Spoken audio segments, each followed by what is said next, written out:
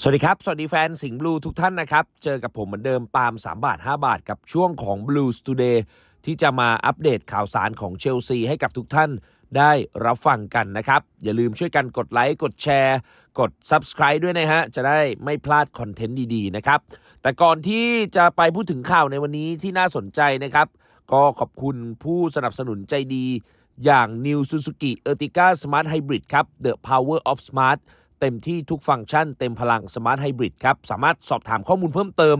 ได้ที่โชว์รูมรถยนต์ Suzuki ทั่วประเทศ หรือว่าคลิกได้ที่เว็บไซต์ www.suzuki.co.th นะครับ แล้วก็ขอบคุณเครื่องดื่มสิงห์เลมอนโซดาครับ สิงห์ยูซุเลมอนโซดาแล้วก็เรดเลมอนโซดามีจำหน่ายแล้วที่เซเว่นอีเลฟเว่นนะครับ ไปว่ากันถึงผลของฟุตบอลพรีเมียร์ลีกเมื่อวานนี้หน่อยครับ มีลงสนามกันหลายคู่นะฮะแล้วก็ส่วนใหญ่จะเป็นไปตามคาดนะครับ ก็เบรนท์ฟอร์ดครับเสมอกับสเปอร์สไป 2 ประตูต่อ2นะครับสเปอร์สนี่โดนก่อนด้วยนะครับ แต่สุดท้ายมาตามตีเสมอได้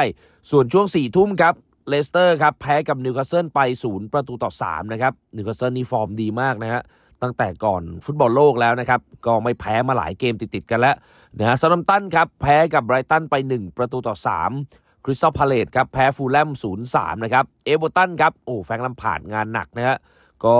แพ้กับวูล์ฟไป 1 ประตูต่อ 2 ครับ แล้วก็คู่ดึกครับ มีแอสตันวิลล่าแพ้ลิเวอร์พูล1ต่อ 3 แล้วก็ตี3เนี่ยเป็นอาร์เซนอลครับ เอาชนะเวสต์แฮมไปได้ 3 ประตูต่อ1นะครับ ซึ่งเดี๋ยวเชลซีของเราเนี่ยจะมีโปรแกรมลงสนามคืนนี้ครับ เวลาเที่ยงคืนครึ่งนะครับ ก็ใครยังไม่ได้ชมคลิปวิเคราะห์วิจารณ์ยังไง ฝากติดตามรับชมด้วยแล้วกันนะครับ ผมลงไว้ให้แล้วนะฮะใน YouTube เนี่ยแหละนะครับ ส่วนข่าวอื่นๆที่น่าสนใจนะครับ ก็มีหลายเรื่องเลยครับ โดยเฉพาะตลาดซื้อขายนี่อยู่ขยับกันเพียบเลย แต่ว่าอดัมนิวสันเมื่อวานนี้ครับ แกตีข่าวบอกว่าปีนี้เขาบอกว่าเป็นปีที่สูบพลังงานแฟนเชลซีเป็นอย่างมากครับ แต่คำพูดในแง่ลบบนโซเชียลมีเดียเนี่ยและความที่แฟนบอลเริ่มไม่ค่อยสนใจทีมเนี่ยไม่ได้ช่วยสถานการณ์ดีขึ้นเลยครับ ทุกคนรวมถึงแกรแฮมพอตเตอร์นักเตะและแฟนบอลเนี่ยต้องช่วยกันทำให้สถานการณ์ของทีมดีขึ้นได้แล้วนะครับ ก็เหมือนแกออกมาบ่นๆนะฮะว่าเออการที่ไม่สนใจทีมนี่ไม่เป็นประโยชน์ลักษณะแบบนั้นนะครับ ขณะที่เรื่องของข่าวตลาดการซื้อขายนักเตะครับ เมื่อวานนี้นี่โอ้มีข่าวใหญ่หลายเรื่องเลยครับ ก็หลักๆเนี่ยนะครับเมื่อวานนี้มีรายงานครับจากเดวิดออร์นสตีนครับรายงานว่าลิเวอร์พูลเนี่ยบรรลุข้อตกลงในการเซ็นสัญญากับคอร์ดี้กักโปจาก PSV e i n d h o v e n เป็นที่เรียบร้อยแล้วนะครับ ค่าตัวอยู่ที่ประมาณ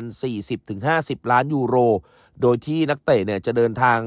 ไปที่อังกฤษเพื่อรับการตรวจร่างกายนะฮะ โดยที่ก่อนหน้านี้มีรายงานว่าทางแมนเชสเตอร์ยูไนเต็ดเนี่ยและเชลซีก็สนใจนักเตะวัย 23 ปีรายนี้นะครับ แต่กลายเป็นว่าคอร์ดี้กักโปเนี่ยตัดสินใจเลือกที่จะย้ายไปร่วมทีมลิเวอร์พูลนะครับ ก็สุดท้ายแล้ว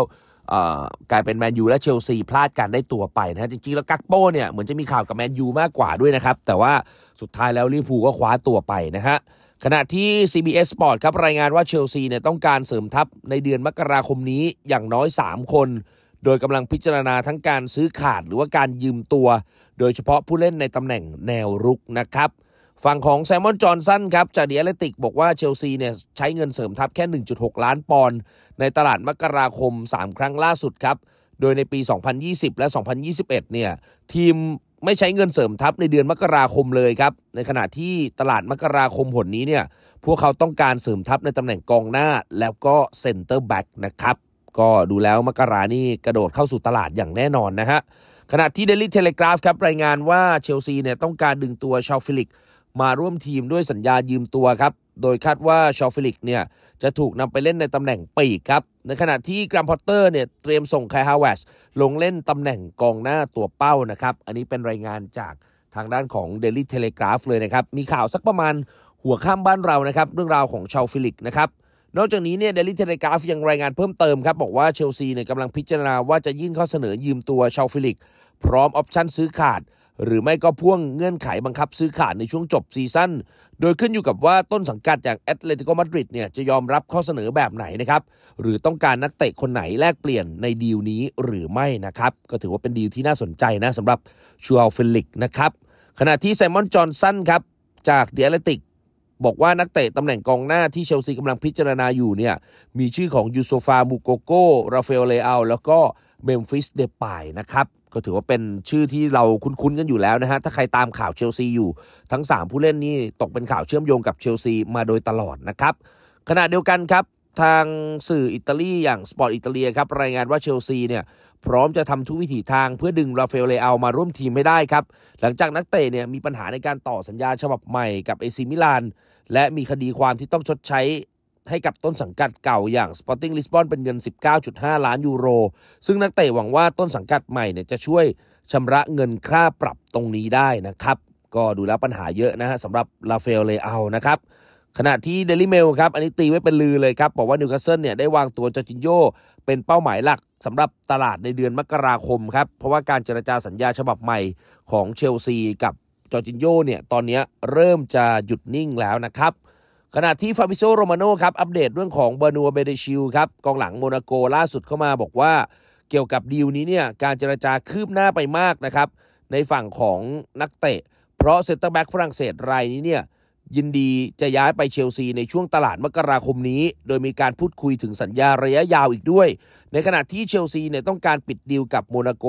ให้เร็วที่สุดนะครับก็อยากให้แฟนเชลซีจับตาดูฮะเบอนัวต์ บาเดียชิล ที่เล่นเซนเตอร์ฝั่งซ้ายเนี่ยมีแววครับ ผมว่าตลาดเปิดมกราคมเนี่ยดูแล้วถ้าจากข่าวตรงนี้นะฮะ 70-80%ครับ มีโอกาสนะครับ ขณะที่เรอัลมาดริดแล้วก็เชลซีรวมไปถึงแมนเชสเตอร์ซิตี้เนี่ยก็วางตัวยอสโกกวาร์ดิโอลเป็นเป้าหมายหลักในการเสริมทัพนะครับ อันนี้เป็นรายงานจากสื่ออย่างสปอร์ตนะครับ แล้วก็ฟาบริซิโอ โรมาโนเนี่ยบอกว่าเชลซีเนี่ยต้องจ่ายค่าตัวเป็นสถิติโลกครับสำหรับตำแหน่งกองหลัง หากพวกเขาต้องการดึงตัวยอสโกกวาร์ดิโอลไปเสริมทัพ โดยไลป์ซิกเนี่ยต้องการค่าตัวนักเตะที่ระดับเกิน 100 ล้านยูโรนะครับ เพราะฉะนั้นเนี่ยค่าตัวไม่ธรรมดาแน่ครับสำหรับยอสโกกวาร์ดิโอล ไม่ต้องแปลกใจนะครับที่ทำไมทางฝั่งของเชลซีถึงหันไปหาเบอนัวต์ บาเดียชิลนะครับ เพราะว่าค่าตัวของยอสโกกวาร์ดิโอลนี่มันแพงมหาศาลเหลือเกินนะครับ อะนี่เป็นข่าวที่นำมาฝากกันนะครับ ก็ที่เหลือเนี่ยถ้ามีเพิ่มเติมเดี๋ยวผมอัปเดตให้ทาง Facebook Fanpage ของปาล์ม3 บาท 5 บาทนะครับ แล้วก็อย่าลืมย้ำนะคืนนี้นะแมชเดย์ครับเชลซีเจอกับบอลมัดเที่ยงคืนครึ่ง ซึ่งเดี๋ยวเราจะมีไลฟ์ก่อนเกมกันด้วยนะครับ วันนี้หมดเวลาแล้วครับ ขอบคุณทุกท่านที่ติดตามนะครับ แล้วเดี๋ยวเราเจอกันใหม่ในโอกาสหน้า วันนี้ลาไปก่อน สวัสดีครับ